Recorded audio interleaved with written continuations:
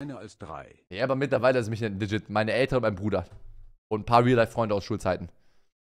So Philipp, Josie, Jonathan. Aber ansonsten alle Real-Life-Freunde von danach, die, keiner von denen nennt mich beim Vornamen. Mein Vorname gibt es nicht mehr. Auch wenn ich mit mir selbst rede, was ich sehr oft tue tatsächlich. Ich habe auch mittlerweile gelernt, dass es gar nicht so üblich ist, wie ich dachte. Ich dachte, jeder Mensch würde permanent mit sich selbst reden, aber scheinbar tue nur ich das. Auf jeden Fall nenne ich, nenne ich mich da auch selbst bei meinem, bei meinem, bei meinem Tolkien-Namen, ja. Ich weiß nicht, ob ihr es kennt, aber angenommen, ihr seid dumm und lauft gegen eine Wand mit eurem C. Und dann beleidigt ihr euch selbst. Dann nenne ich, nenn ich mich halt nicht mehr bei meinem Vornamen. Dann sage ich halt auch, du bist so ein dummes Stück Scheiße, Tolkien. Und also, you know? So, also an dem Punkt sind wir angekommen. An dem Punkt, an dem wir auch angekommen sind, ist Pick- und Bannphase Nummer 4. Euer Überleitungskönig Tolkien LOL am Sonntag, sage ich. Rennen, Renekton natürlich hier wieder interessant für Adam. Denn ähm, Rumble und Cannon wurden beide gedörrt. Oh Junge, mein Kopf hat auch aus, legit aus Rumble und Cannon Renekton gemacht und ich musste über Renekton reden, obwohl ich den Namen gar nicht sagen wollte. Ja, Rumble und Cannon Buns finde ich beide nicht so geil. Adam committet halt weiterhin auf seinen Style, was BDS sehr viel kostet in Draft. Aber Olaf war fairerweise letzte Runde auch wirklich mächtig, was primär daran lag, dass Na seinen Job nicht gemacht hat, was Splitbush angeht. Das funktioniert für BDS aktuell auf jeden Fall ganz okay in der Play-In-Phase. Sollten sie Swiss Stage reinkommen, wird es vielleicht anders aussehen. Jetzt für die Frage, wenn du den Baum einloggst, oh, okay, Sejuani, wenn du den Baum einloggst, pickt dann man, pickt man dann Jace Kaiser weg. Weil gerade jemand von BDS gesehen, dass sie nicht bereit waren, Jace zu picken mit Maokai. Aber wollen sie Jace Maokai geben? PSG hat ja Maokai gebannt, äh, sorry, Jace gebannt auf der 4, nachdem sie den Maokai haben durchgehen lassen. Bewirkt großes Risiko hier. Ein PSG ist bisher ein Team, weil es um Drakes unterlegen gewesen, aber vieles davon liegt am Setup. Maokai, Jace, Kaiser machen Setup automatisch easy. Kaiser wegnehmen ist geil. Ich, mal sehen, ob die Jace spielen. Jace haben die letzte Runde nicht spielen wollen. Weil es würde Sinn ergeben, wenn sie jetzt auch wieder Jace skippen und quasi in der Linie treu bleiben, dass sie Jace nicht spielen wollen. Nuclear ist nicht Danke der beste Jace, aber ja. Maokai Jace, ihr wisst es, Chat, ihr wisst es. Danke, die Cheeky Joe, liebe Bro. Sheo, auch mal, auch mal die Sin einloggen. Auch mal Alpha sein. Nicht Baum gegen Baum. Es wird der Baum gegen Baum. Heißt, wir haben wahrscheinlich hier so eine Art Kiteback kommt bei BDS. Gegen auch eine well, Range kommt bei PSG. Denn Maple ist ein guter Jace. Wir haben seinen Jace schon mehrmals gesehen beim Turnier. Ich glaube zweimal. Ein Game ist er auf jeden Fall ohne Devs gegangen, das ich kommentiert habe. Und ähm, ja, das wäre für mich jetzt wieder No-Brainer. Ja, du spielst dann immer automatisch gegen Syndra von Nuclear. Das sollte relativ easy hier kommen. Aber wenn du jetzt wirklich gegen Syndra von Nuclear spielst, hast du halt Kaiser, Jace, äh, sorry, Kaiser, Ivan Syndra, ne? Dann kauft der Jace Mercs und Hexdrinker und der ist unkillable. Heißt, die Draft von BDS birgt wieder einige Schwächen, aber I mean, I, I mean ich glaube an BDS. Ich höre auf, sie zu doubten. Sie machen da schon irgendwas Wildes. Let them cook. Eine pickt irgendwann, keine Ahnung, Kale Toplane und macht One v 9 oder so, I don't know. Wir danken dir, Janis. Vielen Dank für den Sub. Willkommen. Danke dir. Welcher Baum ist besser? Well, Maoka ist der bei weitem beste Baum auf dem Patch. Ivan zwar hohe Priorität beim LEC-Finale. Maoka ist ja der höchste Priorität Champion bei Worlds, wenn es um Bands geht. Also sehr viel gebannt der Charakter. Funktioniert in jeder Comp. Ist sehr, sehr einfach zu spielen. Hat sehr viel Synergie mit sehr vielen Charakteren in der Meta. Und das macht es durchaus härter, dagegen zu agieren. Ivan wiederum ist nicht unbedingt bad, aber Ivan struggelt halt sehr damit, Objectives zu machen, bevor er Daisy hat. Und Daisy zu kriegen für den ersten Drag ist meistens nicht wirklich möglich. Harriet Fight ist kacke für Red Side. Ne, also wir können aber ganz kurz, warte, hier, einfach nur während wir hier, warte, guck mal hier. Wenn du einfach die reinen Stats anguckst, ist halt wirklich die Stärke von Red Side, wir kriegen den ersten Drake oder den ersten Herald. Ersten Herald kriegt man so gut wie nie auf Red Side. Erster Drake ist deutlich üblicher, obwohl das jetzt bei World's Plans immer noch nicht der Fall ist, aber Herald quasi nie BDS über die Jahre hinweg. Uh, und wenn Ivan halt beides nicht contesten kann, ist er oftmals ein Kackpicker auf Red Side, aber immer ein Clear-Darsteller, der ist gut mit Double AD Carry Comp. Heißt angenommen, du spielst jetzt hier wirklich Tristana, Kaiser und dann Toplane Tank. Beste Unterhaltung. Ist okay. Kleiner als drei. Double AD Carry mit Ivan plus zwei Tanks ist in Ordnung. Also so, wir haben ja schon Zion gesehen, auch ohne Erfolg, wenn dann. Aber Nautilus, Zion, Orn oder sowas, wäre okay. Kann einfach nicht am Anfang die ganze Zeit invaded werden, nicht wirklich von Maokai, nee. Ivan ist der bessere Early Game Champion, wenn es darum geht, Camps zu nehmen.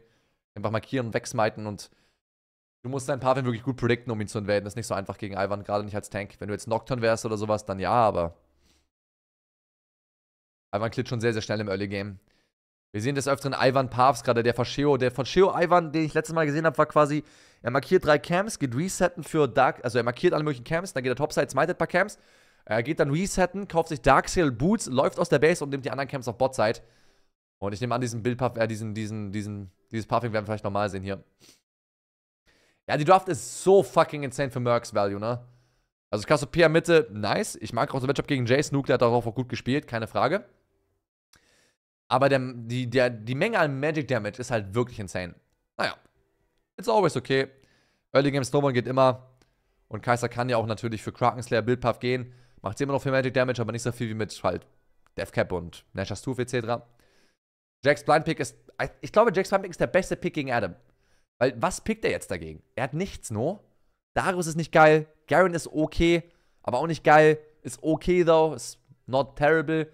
Malfred ist terrible in der Draft allgemein. Also nochmal Magic Damage hattest. Er spielt jetzt noch. Olaf ist terrible gegen Jax. Ja, ich glaube, es wird fast Garen werden müssen, richtig? Ja, auf jeden Fall starker Blind von Asi. Haben bisher viel Erfolg gehabt. Auf Nate ein Game verloren. Die danach wurde jetzt rausgebannt. Der Adam auf jeden Fall immer wieder dabei ist, quasi die erfolgreichen Champions des vergangenen Games rauszunehmen. Wie gesagt, der Nahe hätte auch das Game easy gewinnen können. Was soll der jetzt hier picken? Set, Set ist terrible gegen Jax. Set, Set ist, wird gehardcountert von Jax. Aatrox, Aatrox verliert auch sehr hart, aber ist okay. Ist ungefähr vergleichbar mit Garen. Ja, es wird der Garen. Honestly ist es nicht so schwer, BDS Draft zu predikten, wenn es um Adam geht. Weil was ein Pool, der ist nicht bad, aber er ist sehr limitiert. Hat halt Vor- und Nachteile. Die Gegner sind halt nicht unbedingt gut daran zu berechnen, was er machen wird. Aber ja, das Garen-Jax-Matchup ist gut für Garen im, äh, ab Level 6, 7 so in dem Dreh. Jax gewinnt danach ab Divine Sandra und davor ebenfalls. Dank Divine Sandra und Grasp kann er halt sehr kurze Trades spielen. Garen braucht oftmals längere Trades. Aber ja, Garen Gaming hat bis jetzt für Garen und für Adam speziell zum Erfolg geführt. Dadurch haben wir wieder damit die Situation, dass wir kein TP haben werden auf dem Garen. Garen braucht Ignite. Gerade wenn du Face Wash spielst, brauchst du Ignite, um Face Wash auszulösen im Early Game oder auch später. Denn Jax, also gegen Jax halt Face Wash auszulösen, ist sehr schwer für Garen. Deswegen sehen wir oftmals in dem Matchup auch Conqueror, aber meistens trotzdem Face Wash für die Teamfight selbst. Denn du kannst ihn dann nicht auto-attacken. Heißt im Endeffekt hast du zwei Spells, die ihn treffen. Und zwar deine E und dein, dein, dein Stripe Breaker oder halt dein einen Strike Whip. Heißt, manchmal musst du direkt ulten für Movement Speed oder aber igniten. Denn du kannst ihn nicht wirklich queuen, den Jax. Was ein Problem darstellt, denn deine Rune ist das Wichtigste in dem Matchup. Um halt Jax kiten zu können, beziehungsweise generell zu entrinnen vor seinem vor seinen amardaren Autotext. Ne? Der macht ja Hit nach Hit nach Hit nach Hit nach Hit nach Hit nach Hit nach Hit. Bop, bop, bop, bop, bop.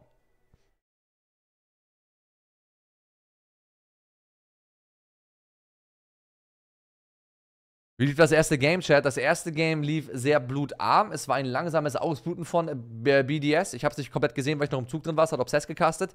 Game 2 war, well, PSG hat einfach gewonnen. Richtige Abschlachtung. Alle Drakes, Nash, Turrets, 10.000 Gold Lead, fast as fuck bekommen, etc. Und dann, ähm, Game 3 gerade eben war ein richtiger Fistfight-Banger, würde ich sagen. No? Game 3 war bisher das beste Game. Wenn BDS an diesen Erfolg anknüpfen kann, dann wäre ich glücklich mit ihnen. Hoffentlich schaffen sie das. Wir werden es gemeinsam herausfinden. Willst du noch mal testen, ob CleanFeed jetzt passt? Ey, du, ich teste das die ganze Zeit. Also, ich habe den Sound die gesamte Zeit an beim CleanFeed. Nur bei euch halt nicht. Ich habe den nur in OBS gemutet. Also, ich höre die ganze Zeit, ob es leckt oder nicht.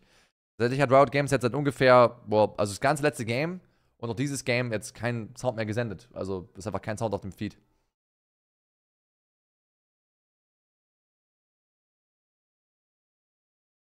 Da war kein Sound da. Also, ich nehme an, es auch immer. Sie haben es ja davor immer hoch und runter gepegelt. Irgendein Problem mit es halt heute. It is what it is.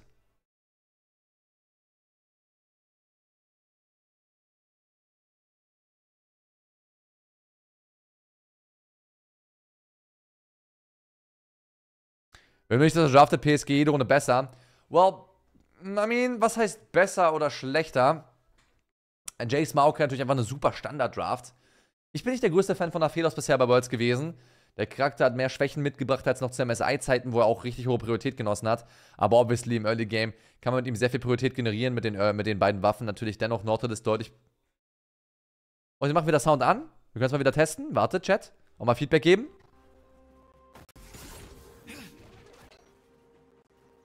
Auch mal Feedback geben.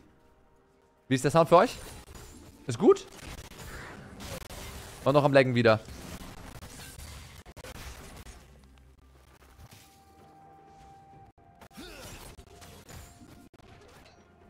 Hör mal meine Fresse, ihr wollt mir da eh nicht mehr zuhören. Ihr nehmt schon viel zu viel Gelaber, Leute.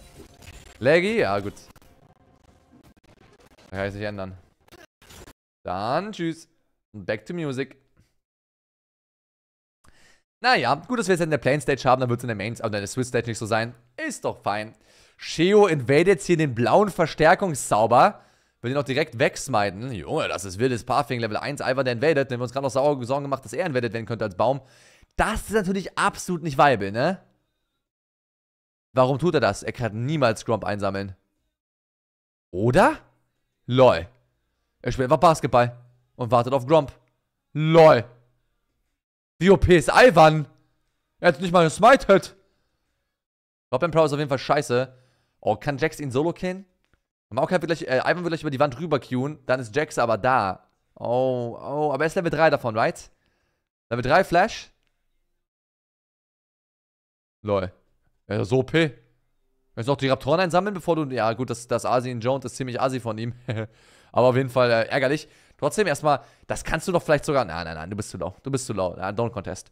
Du hast Garen dafür so viel Zeit generiert, du hast ja selbst zwei Camps geklaut, verlierst dafür nur eins. Das ist, glaube ich, komplett in Ordnung hier. Für beide Seiten von Toplane und Jungle so oder so. Ja, mega nice. Also das Pathing hier angenehm.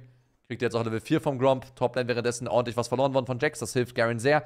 Der Early mit Last und braucht gegen den Mann mit der Laterne. Billiges Early. Jetzt wird der zweite Raptoren-Spawn wahrscheinlich contested. Der wird auch angepinkt von BDS.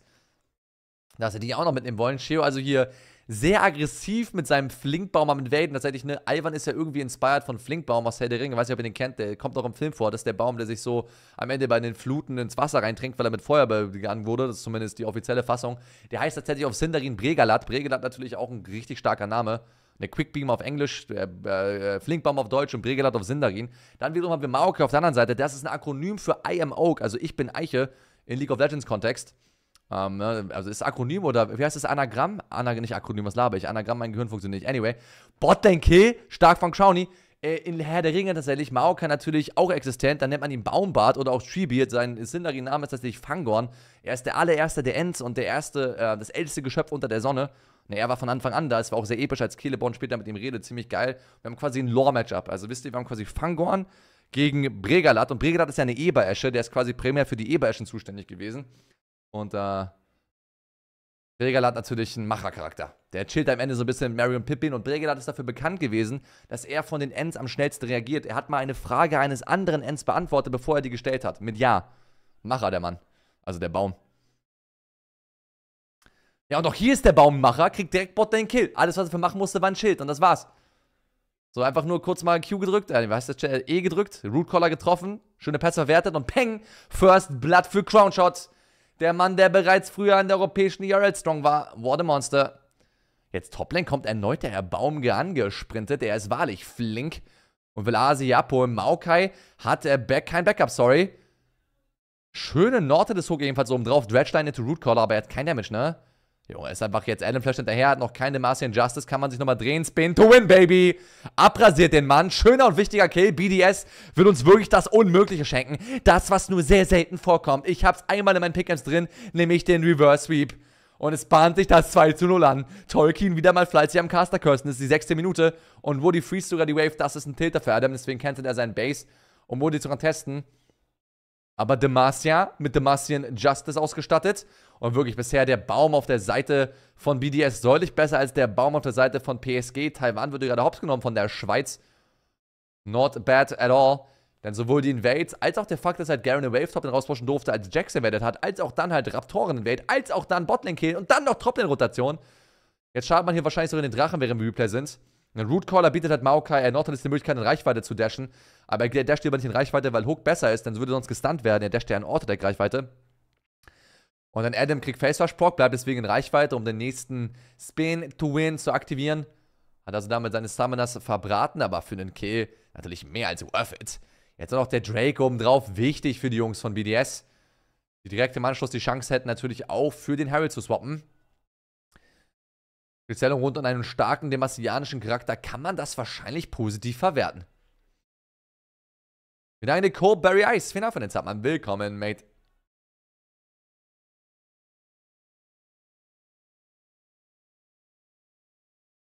Der Verlierer ist raus, das ist absolut korrekt, lieber Elomator. Der Verlierer hat Freizeit. Der fliegt zurück nach, äh, ja, entweder in die Schweiz, wenn du BDS hast, oder nach Taiwan, wenn du PSG heißt.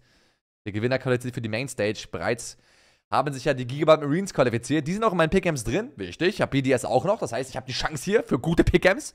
Perfect Run. 100% Rate, Trust. Mal gucken, wie wir dann in der Swiss Stage uns durchvoten werden. Die wird auch eine wilde Pick'em-Phase uns sich ergeben. Aber dafür muss BDS erstmal zwei Runden in Folge gewinnen. Das ist nicht so einfach. Da wollen wir nicht zu Hardcaster kirsten. Wait, BDS ist ein Schweizer Team? Ja. Die Org-Location ist Schweiz. Spieler sind Frankreich, Frankreich, Frankreich, Slowenien und äh, Griechenland.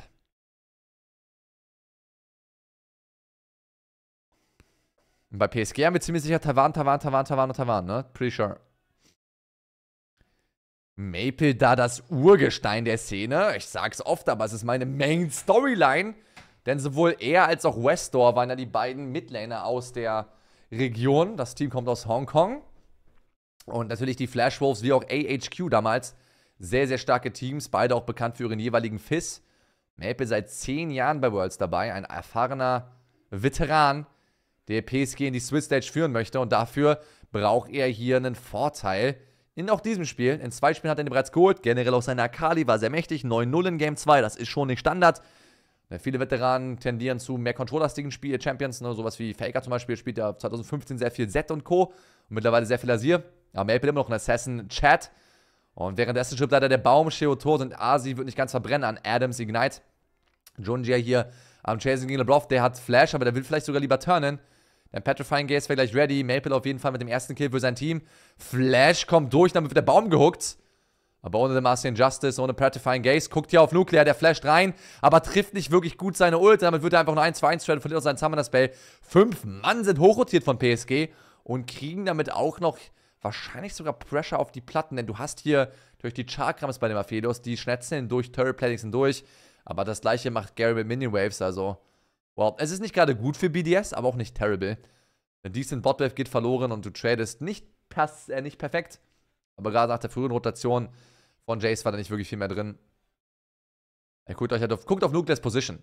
So, PSG ist halt so viel da, Nuclear ist halt nicht da und währenddessen ist auch noch tatsächlich Crown in Base.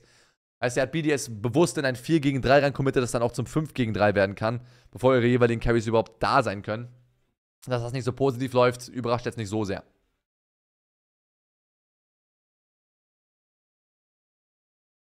Sehr bitte natürlich, wenn deine beiden Carries einfach zu spät für Harold sind. Ich bin ehrlich, mein Gehirn ist nicht ready, um auf Reset-Timings zu achten gerade. Ich habe nicht aufgepasst. Eine Stunde Schlaf, Sleep Deprived Tolkien, sein Gehirn ist Matsch. Es ist Matsch, es ist Matsch, es ist Matsch, es ist Matsch. Harold auch noch an Vaku gegangen, which blows. Also weitere Platten anspielbar. Aber nicht so bad, wenn sie auf dem AD Carry sind. Kein Demonic Embrace Power Spike oder vielleicht auch nicht Eclipse Dust Split Power Spike. Bro, eine Stunde. Ja, die letzten beiden Nächte waren rough, weil ich musste quasi, musste von Berlin nach Westerstede fahren. Und dafür bin ich auch um so 5 aufgestanden, weil ich dann irgendwie, wir mussten halt, haben uns früher getroffen und so. Ah, 5 ist übertrieben, vielleicht war es 5.30 Uhr. Und dann halt noch eine zweite Nacht im Anschluss, weißt du, die dann auch nur eine Stunde war. Wenn die Hochzeit ging ja bis, bis halb drei und dann musste ich um, um vier muss ich los. Da muss ich in Toxi. Solo-Kill, Flash-Ult, Ignite-Ult, bitte. Bitte krieg den Kill. Nein, Adam. Er hat kein, ach, er hat kein Ignite ready. Es ist ausgegraut. Maple währenddessen im Fokus. Miasma kommt durch. Damit wird er auf jeden Fall sterben. Starkes Ding von Nuclear und Sheo. Belohnt sich da selbst mit einem Kill. Und Toplane, das Matchup, wenn es jetzt anfängt zu swingen, mega geil. Also beinahe Solo-Kill für Adam. Natürlich die P-Advantage bei dem Jax. Im Endeffekt ist es nur Flash of Flash, nicht the end of the day. Es ist okay für beide Seiten. Jetzt kriegt man vielleicht Botlane den Turm gechunkt.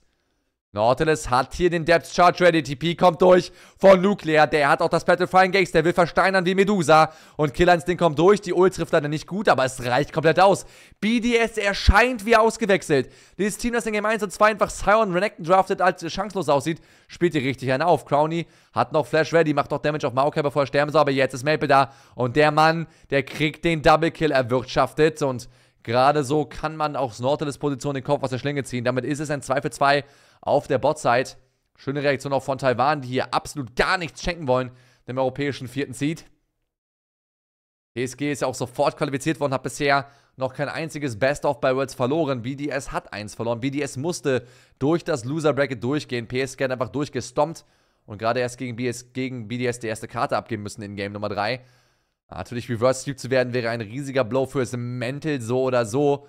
Aber noch sind sie davon ein Stück entfernt natürlich. BDS muss zwei Karten noch in Folge gewinnen, damit sie eine Chance haben wollen. PSG nur eine. Beste Position definitiv und ja, ich mag die Proaktivität, die sie gerade mit Cassiopeia hier zeigen. Reinzuholten und generell zu TPen. Strong natürlich auch, wenn Maple ready ist, das Ganze zu beantworten mit Mauercold und TP. Nicht schlecht von PSG. Das wurde hier noch abgeholt, wird natürlich ärgerlich. Conny macht noch starken Schaden. Ich hätte gehofft, dass man vielleicht noch Junja mitnehmen kann, aber nicht ganz reicht's aus. Der Conny flasht noch dafür, ich verstehe weshalb. Es war close. Es war sehr, sehr, sehr, sehr close. Zwei Drachen an BDS. Ja, Sam Harrod verloren. It's okay. Top-Matchup wird gerade besser werden, wird auch noch eine Weile besser sein. Na, auf Divine Thunder kann Jax gegenscalen, ja, aber BDS Toplaner wird zuerst seinen Powerspike freischalten, der junge Franzose. Der einzige von BDS mit internationaler Erfahrung. letztes Jahr oder vorletztes, ich, boah, Bruder, bei Fnatic hat er natürlich sechs Games bei Worlds gespielt, in der Gruppenphase ausgeschieden, Peng. Aber der Rest von BDS hat noch nie ein internationales Turnier gespielt. Und jetzt spielen sie hier allererstes Mal Worlds und sind kurz davor, in die Swiss Stage einzuziehen. Normalerweise hätten wir ja gar keinen vierten Seed aus Europa gehabt. Aber dank BDS Sieg gegen die Golden Guardians mit einem 3 zu 0 am 9. Oktober haben sich ja qualifiziert. Toplane Solo-Kill, der ist einfach tot, oder? Und Bob Demacian Justice, Ignite, Double Point Click für 800 True Damage, balanced by the way. Ist einfach ein Solo-Kill, Toplane-Matchup ist geil. Jetzt hat Jax Divine Sandra gekauft. Stark von Adam. Dafür ist es da, dafür hat er die Gangs bekommen. Jetzt kriegt man vielleicht noch eine Platte oben drauf oder zwei, denn Garen pusht sehr, sehr schnell. Aber Platten laufen in der Sekunde durchaus. Mein Gehirn ist wirklich langsam, wenn ich nicht mal mehr auf Timer achten kann. Sorry, Chat, dafür. Aber jetzt geht man Base für Streitbreaker. Du kannst nur nach Black Cleaver gehen, das hat Adam bisher getan. Aber natürlich auch Hullbreaker in dem Game ist nicht schlecht. Ich denke, er wird aber wieder Richtung Black Cleaver tendieren. Werden sie herausfinden, wenn er Double Longsword gekauft hat, dann wird es Black Cleaver. Wenn er Double Long, wenn er einen Longsword kauft plus Movement Speed oder Ruby Crystal, dann ist es natürlich Hullbreaker. Werden sie herausfinden, sobald Lane County weg ist. Er hat gar kein. Was? Warum hat er so wenig Gold? Er hat doch gerade solo killt. Wie hat er nur Mythic-Item? Trollt er oder was, Diggi? Was denn hier los, Alter? Aber anyway, Garrett hat immer noch Boots ausgebaut. Also er ist sehr, sehr viel stärker als Jax gerade. Asi wird weiter in Sachen droppen. Und das ist halt das Geile an Garen. Im Gegensatz zu Olaf. Denn beide sind natürlich Juggernauts-Charaktere. Aber Garen kann halt einfach über die Karte rennen mit Movement Speed, ne? Sein Mythic-Item gibt ihm Movement Speed als Mythic Passive, seine Q gibt ihm eine Menge Movement Speed, Deadman's Blade, Hullbreaker, whatever. Nächste Prime sei da. Ist so geil. Du sprintest einfach. Und bist nicht ganz so TP-abhängig wie andere Charaktere. Auch gerade dann, wenn du von vorne spielst, kannst du halt Wave zuerst pushen und zuerst reinrotieren. Das macht Adam gerade sehr gut. Oder ihn. Er ist da und er ist wichtig, denn er ist ein starker Charakter jetzt zu dem Zeitpunkt. Gemeinsam mit dem Sonic-Potenzial einer Riley als Cassiopeia kann man den sehr einfach den Drachen bekommen. Durch tradet man dafür den Bot-Turret. Was sagt, das ist First Turret, aber, well. Turret ist nicht bad. Trotzdem First Turret an Jax. Ein kostspieliges Unterfangen. Adam hätte auch wieder zurückrotieren können, ne? Also, sobald er sich zeigt, dann kann er auch die nächste wieder Botlane catchen gehen. Weil die Wave hat jetzt einfach gerade Crowny weggenommen. Ihr seht auch, Crowny läuft halb Mitte und läuft dann wieder weg. Das wird Crowny nicht geil finden, dass er gerade die Midwave verloren hat. Jetzt läuft der Toplane zu. LeBroff ist ein bisschen lost auf der Karte, wenn er dann noch nach vorne rennt, wenn es dann Eddie Carry Botlane geht oder Midlane geht. Aber Killer Instinct rettet den Tag. Jetzt die Pete Asi rein. Counter-Strike ist ready und aufgeladen auf die Backline. Die Empowered Deck Blastcone rettet zumindest den Eddie Carry von BDS. Das kann Labov nicht von sich behaupten. Und jetzt kann wieder mal die Midwave fahren. Wird Adam wieder die Midwave nehmen und Crowny noch eine Wave taxen?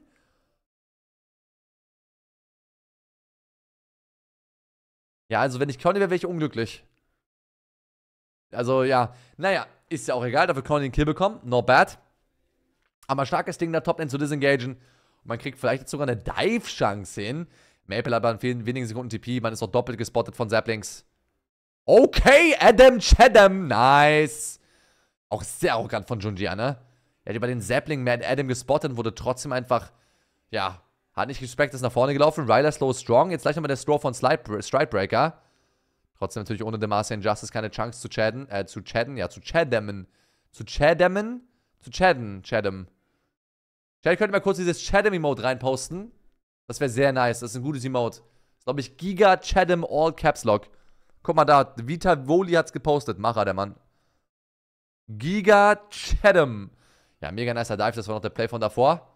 Da ist das Emote. Sehr gut. Das ist unser sich drehender Franzose. Der einzige Mann mit Worlds-Erfahrung. Er text seinen eigenen Eddie Curry gleich dreimal, aber kriegt dann so einen schönen Solo-Kill auf Junjia hin. Not bad at all. Giga Chadem, ein Mann, der seinem eigenen Playstyle treu bleibt und dieser Playstyle besagt, ich pick Champions, die mehr Stats haben als du. Darius, Olaf, Seth und Garen, also wirklich Juggernaut, Juggernaut, Juggernaut und Juggernaut. Und auch Renekton ist ja Juggernaut und Bruiser Hybrid. Also ein Charakter, oder generell Charaktere, die im Pro-Play meistens keine hohe Priorität genießen. Denkt dran, Juggernauts sind meistens mit sehr geringer Reichweite, Mobilität und auch Mobility ähm, gesegnet. Können quasi auf dich rauflaufen und Schaden machen. Das macht sie aus. Genau das vereint ja Darius, Garen und auch Olaf. Wenn die auf dir drauf sind, dann bist du probably tot. Aber auch für sie auf dich raufzukommen, ist meistens eine schwere, ein schweres Unterfangen. Während sowas wie Jax Irea Camel auf dich raufhüpft und dann sind sie halt da. Die sind mobil, diese Bruiser. Aber Adam sagt, Bruder, mir ist doch dieses Outplay kackegal. Stumpf ist Trumpf, ich pick Bruiser. Äh, ich, ich pick gegen deine Bruiser, pick ich Juggernauts und gewinne einfach. Und das funktioniert, also, funktioniert gerade für die Franzosen wahrlich fantastisch. Ich habe Mobilität und Mobility gesagt. Scheiße. Ich meinte Mobilität und ja, so halt CC-Spells, ne? So eine 5-Mann-Stun von Jax, Irea, Camille, das ist natürlich in einem Garen nicht machbar.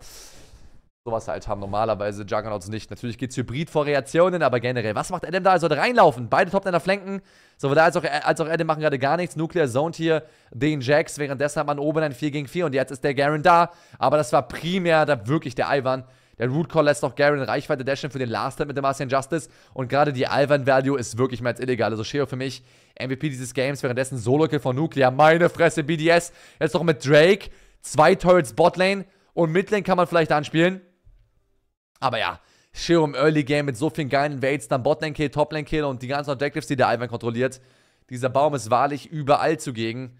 Ein, ein wichtiger Supportive-Charakter, der oftmals untergeht. Aber er führt seinen Job mehr als souverän. Auch schon von Nuclear einfach Jacks Zone zu gehen. Er kann ihn easy beantworten, bevor jener im R kauft. Und will das ganze Game weiter gezont werden. Der Jax geht auch scheinbar Richtung Sonjas Second Item. Ich finde das terrible, wie ihr wisst. Und der Reverse Sweep, er soll sich einläuten, Chat. Von 0-2 auf 2-0. Can you believe it? It's about to happen, denn dieses Game sieht geil aus. Ich will jetzt da nicht Caster cursen, aber es steht 3 zu 0 in Drax. 6 zu 12 in Kills. Und man ist so 4000 Gold vorne, wenn mein Gehirn nicht lügt.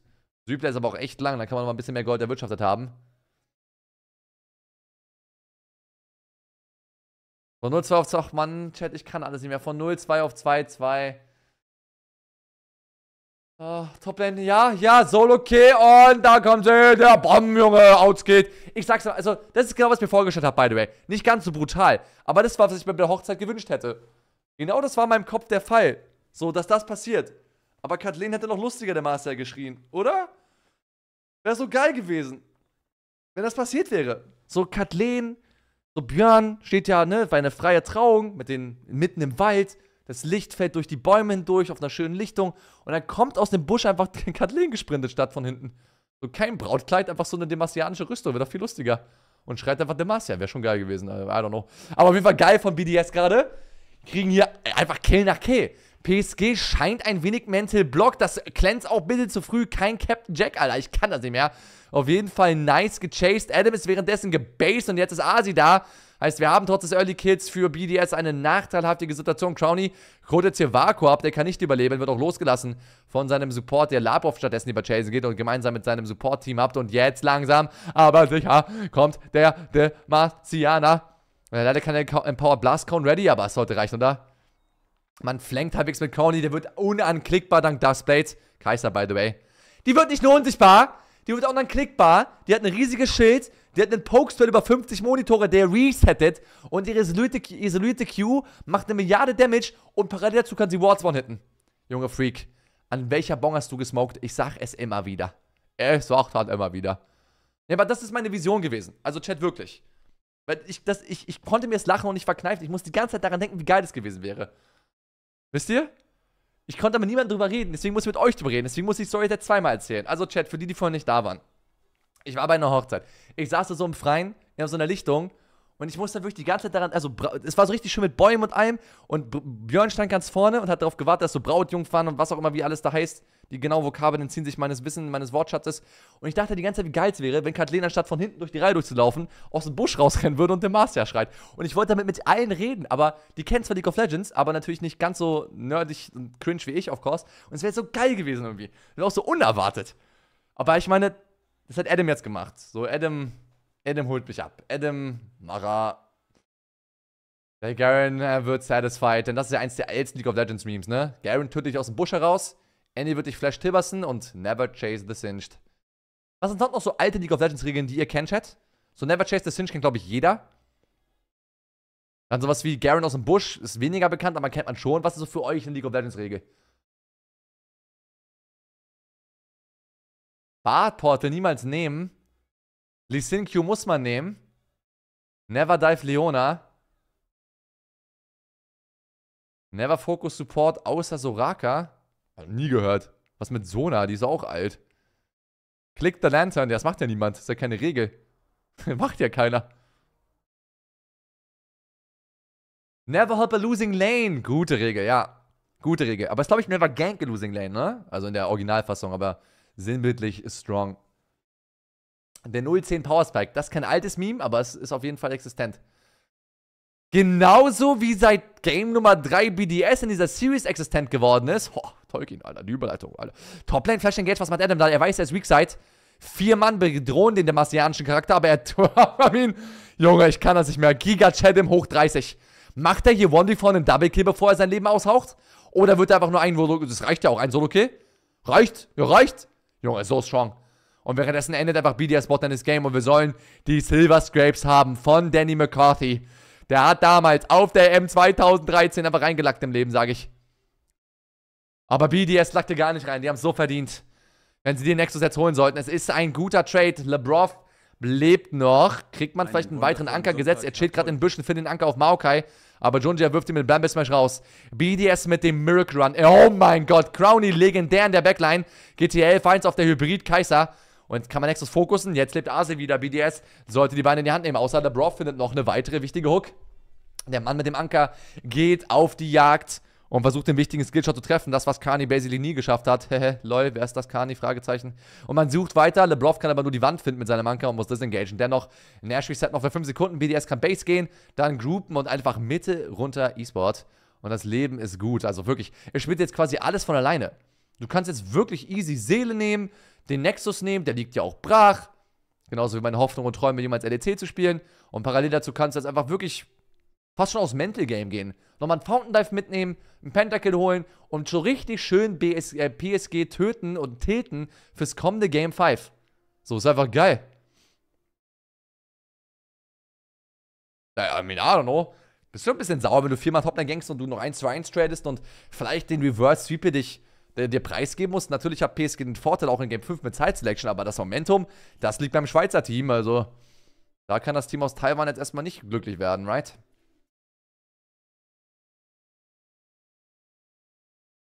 Sehr, sehr nice. I mean, I don't know, PSG. Der Favorit für diese Series, vielleicht der leichte Favorit.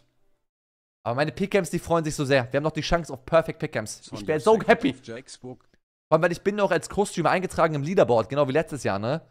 Heißt, ja, da kann ich flexen mit. Das kann man mal wieder äh, im Supermarkt zeigen. Oder auf so einem, äh, ein bisschen damit flexen. Wie damals mit der Changer-Jacke. Oder im Changer-Rucksack. Gute alte Tage. Nexus liegt offen. Du kannst ihn dir einfach easy einverleiben. No joke. Einfach alle fünf Mann Botlane und es ist GG. Der Gewinner ist safe weiter. Der Gewinner ist safe weiter. Best of five, Baby. Also nicht von dem Game, sondern von der Series. PSG muss das hier gewinnen, dann werden sie weiter und BDS muss das und das nächste holen. Flash Engage plus halt Depth Charge of Aphelios. Junjia bereits tot, legendärer Crowny auf der Kaiser. Petrifying Gaze trifft gleich mehrere Ziele, kann man noch weiter nachsetzen. Knockup kommt durch, aber die Macht der Brieftasche. Sie slappt. Schönes Stopwatch von Crowny. Er hat noch Flash und Cleanse. Kann er sich hier Asis Reichweite ziehen? Angel Ivan Shield auf jeden Fall mächtig. Demacian Justice fällt den Alistair auch ein weiteres Mal. Der Minotaurus findet das Grab, genau wie der Rest seines Teams. Und mal die Fountain Dive BDS. Tiltet sie. Tiltet sie richtig. Ja, geil. Rein, rein. Schade. BDS macht das Unmögliche vielleicht möglich. Einen Reverse Super Worlds. Es gibt ihn basically einmal pro Jahr. Aber bisher gab es in der Plane-Phase schon sehr vieles. Mehr als einmal. Drei Pentakills in drei Tagen. Fountain Dives links und rechts. Und vielleicht auch unser allererster Reverse Sweep. Wir haben die Silver